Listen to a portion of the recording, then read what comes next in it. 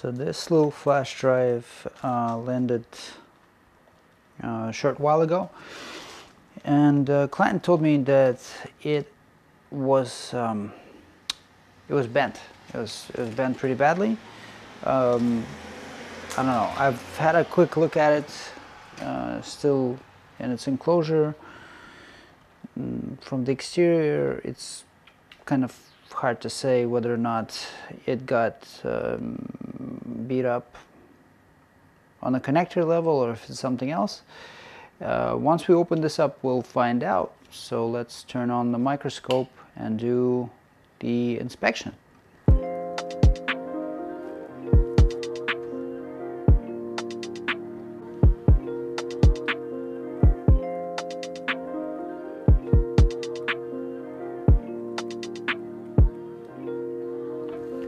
So this device opens up by prying up on two tabs, the little pins that go into uh, that little swing protector. Just pry them up a little bit with a flathead screwdriver and they come off very nicely. Uh, once they're out, you remove the uh, swinger, swing arm out of there and uh, the housing is just two uh, uh, castings pressed in by clips uh, them apart and we get access to our device. So this is based on Alcor controller and we got one uh, BGA 132 memory component on there. You can see that the board was bent. The connector seems good. The connector didn't break off but the NAND is slightly um, lifted.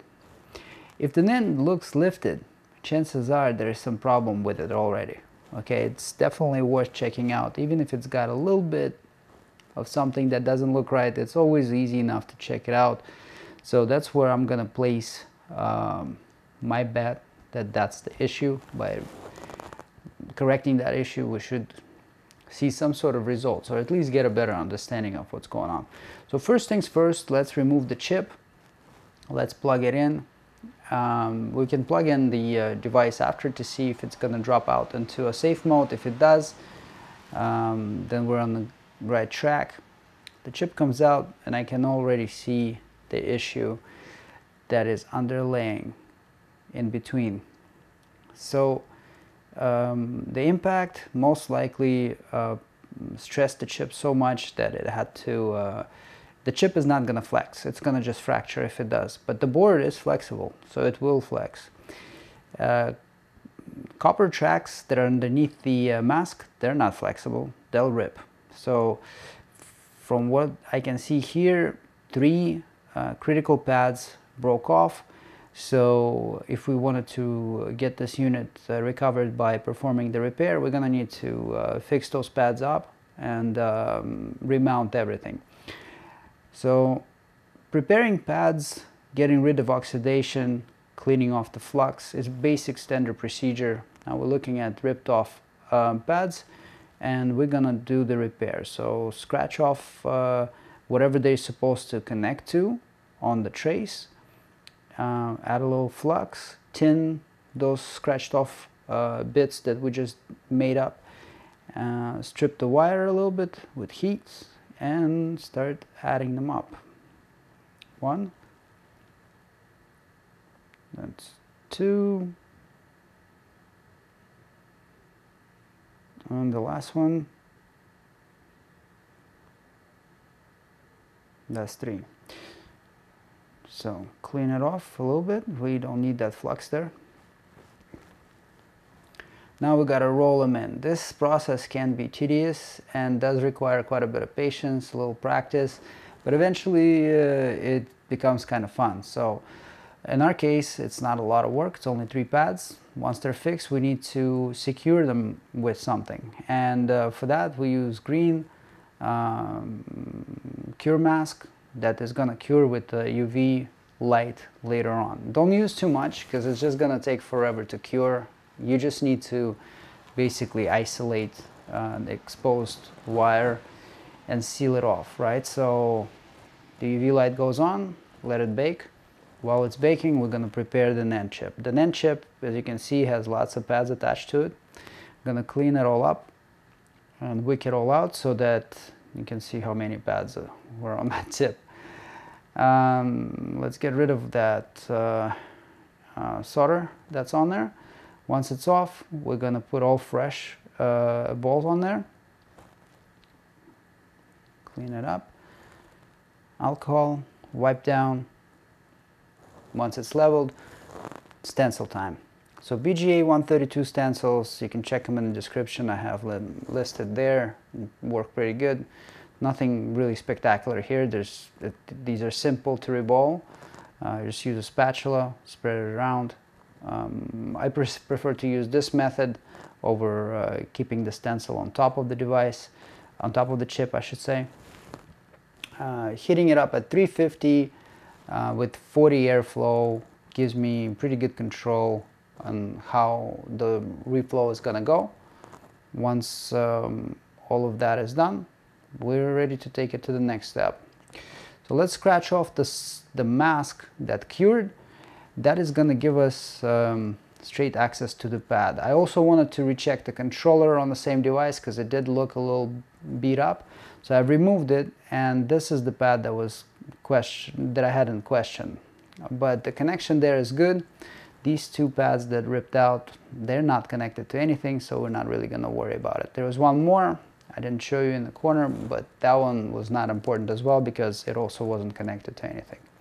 Apply new uh, uh, fresh solder to tin the pads and we'll be ready to mount this thing up. Once it's lined up, uh, just heat it over. Same temperature setting as I use for the NAND.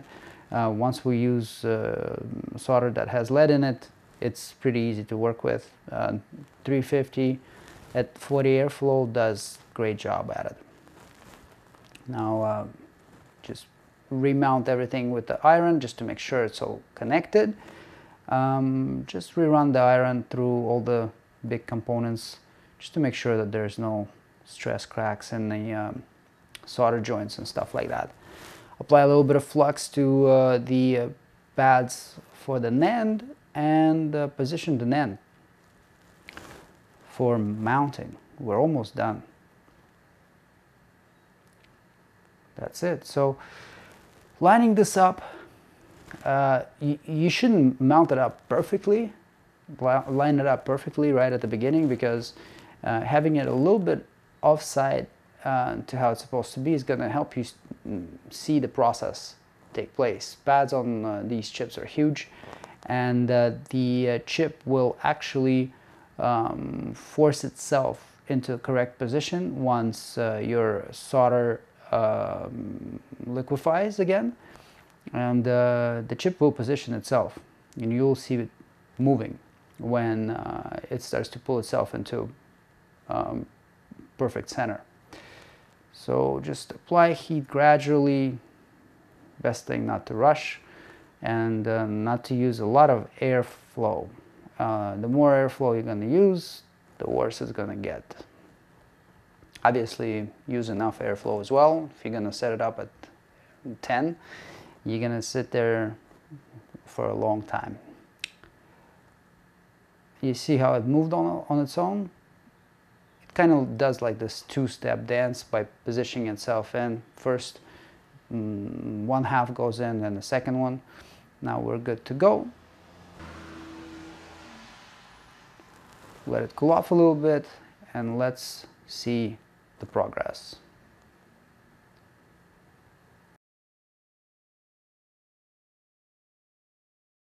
Yep.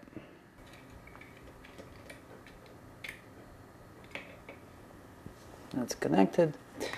Over here I have a USB control panel for DeepSpar. Gonna power it up. Get it in the same shot so you guys can see. Hit the power switch.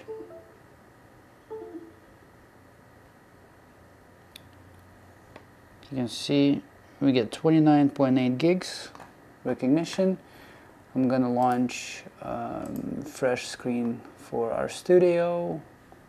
We have DeepSpar USB stabilizer, that's not what we're gonna work with. We got USB Lexar flash drive right there. If we look at the um, hex view and scroll through it, that is data. So now if we clone this unit, we should get all of that data back like that. Thank you guys very much for tuning in. If you uh, broke your flash drive, check the link in the description. We'll help you out. And if you have any questions, as always, drop them in the comments below. Don't forget to hit like, subscribe, and notify yourself with the button that represents a bell. It will notify you the next time video drops. And uh, I'll see you guys in the next episode.